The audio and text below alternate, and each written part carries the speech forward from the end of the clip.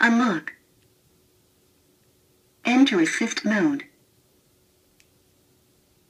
Change to training mode.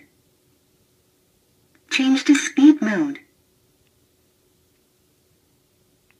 See you soon. Welcome.